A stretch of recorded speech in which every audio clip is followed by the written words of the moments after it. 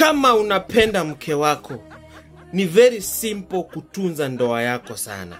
Kitu ya kwanza yafuufanye katika ndoa mnyang'anye mke wako smartphone na umpatie katululu.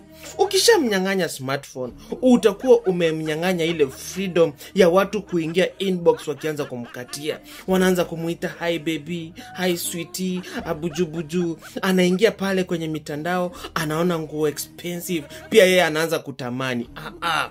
mke yafaa tu unamnunulia hata nguo kama zile za wakorino. Hizo ndio akuwe anavaa kila wakati alafu ile katululu yake hata ikiharibika usikuwe na shughuli nayo tafuta hata blada unafunga betri. Yaani ikiwe tu katululu ambayo hata si lazima akuwe nayo. Hivyo ndio utakuwa unatunza ndoa yako. Hivyo ndio utafanya mke wako akuwe tu anakufikiria wewe. Lakini smartphones zinaharibu ndoa zinaharibu uhusiano mingi. Kama anataka kupigwa picha anakuja na kuomba mme wangu nataka unisaidie leo na simu yako nipige picha. Unampiga picha unamwambia anipe facebook akaunti yako nikupostie unampostia pale hivyo na ukisha post angalia comments inbox. Mtu akijaribu tu kumwambia hey, you look cute.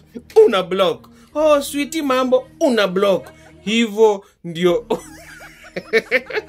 utatunza ndoa yako na itakuwa safi